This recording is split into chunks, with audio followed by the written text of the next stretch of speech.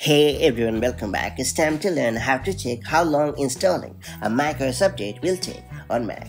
Wondering how long it will take to install a macOS update? Don't worry, because newer versions of macOS provide an estimated installation time before you begin the update process. This can help you plan ahead and avoid interruptions while your Mac updates. In this guide, I'll show you how done the right way. So first off, you have to launch the System Settings app on your Mac. Alternatively, you have to click on the Apple menu located at the top left corner of the screen and then choose the System Settings option in the drop-down menu. After that, you have to select the General option.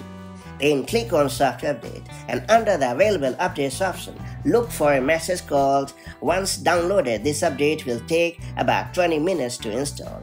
The time may vary depending on the update. Note that these estimates aren't always precise, as installation time can vary based on factors like update size, system performance, and even Apple servers. During installation, your Mac will reboot and display a progress bar sometimes with a time remaining estimate to give you an idea of the remaining process. However, these estimates are only approximations and may not always be accurate. In some cases, an update may be expected to take 15 minutes but could extend to 2 hours or even more. While uncommon, it does happen.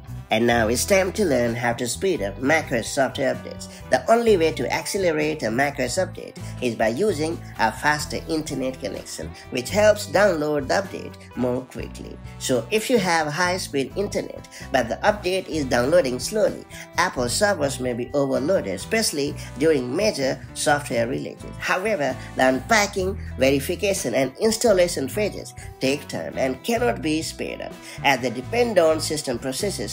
Keep this important thing in your mind while trying to update your Mac and that's about it.